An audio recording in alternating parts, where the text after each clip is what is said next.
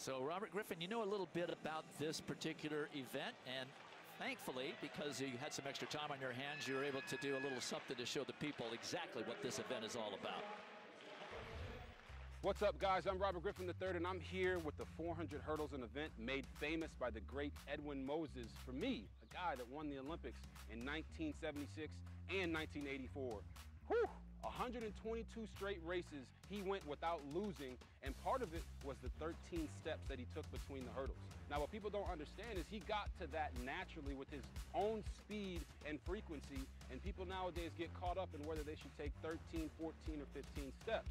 But I'm here to tell you, it's the ones who can alternate legs that have the best advantage in this race. You're gonna see it. I'm gonna run it right here for you on eight, nine, and 10. You'll see hurdlers come up, and if they start to stutter step, it's because they don't have confidence in hurdling in that opposite leg, and that leads to them not being able to win the race. So let me show you real quick.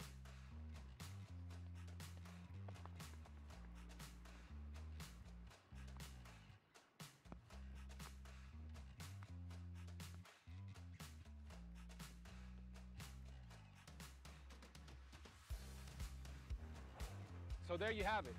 The 400 hurdles, it's not about how many steps you take between them, but it's about eliminating those unnecessary steps before you hurdle.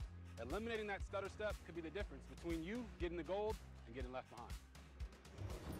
And so, Robert, how long had it been since you did that? Oh my gosh, Dwight, I felt like an elephant on the track. it was it's been 5 years since I ran over 3 hurdles and I know exactly why. All the lactic was in my legs on those 150s.